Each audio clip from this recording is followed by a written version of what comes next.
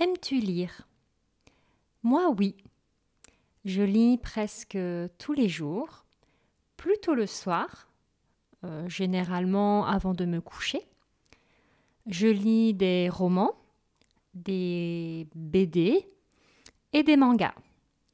J'aime beaucoup les romans d'aventure de Jules Verne, par exemple, les romans policiers ou les thrillers et aussi les autobiographies.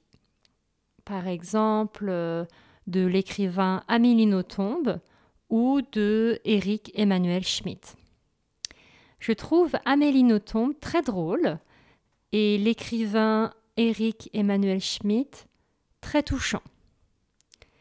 Je lis souvent plus l'hiver que l'été, car l'hiver, quand il fait froid, j'aime être sur mon canapé, et lire toute la journée.